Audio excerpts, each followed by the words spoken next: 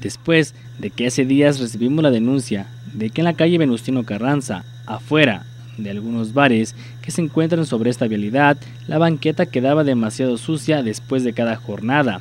Acudimos a verificar personalmente y pudimos observar que las banquetas no se veían deplorables. Los fines de semana es cuando más se presenta una mayor afluencia de personas sobre esta vialidad, debido a que hay lugares de entretenimiento. En ocasiones sí se pueden llegar a percibir olores desagradables y la banqueta sucia. Los encargados de limpiar la acera, en su mayoría, son los propios trabajadores. El mantener las calles impecables habla sobre el cuidado que tienen los propios comerciantes de esta zona de conservarlas en buen estado.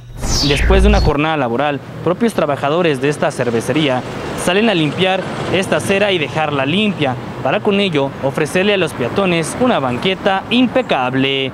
En la cámara, Oscar Lueva nos reportó para informativo Juan Miguel Villalobos de Luna.